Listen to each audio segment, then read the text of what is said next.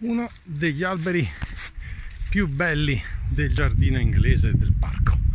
Cedro dell'Atlante se non erro con una struttura a candelabro portentosa bellissima da circumnavigare per intero.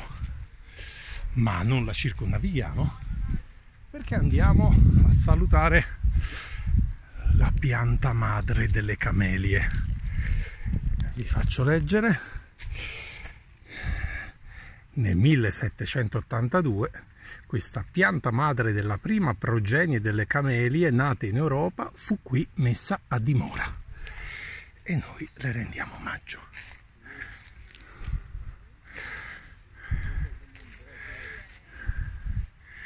Peraltro già con qualche fiore.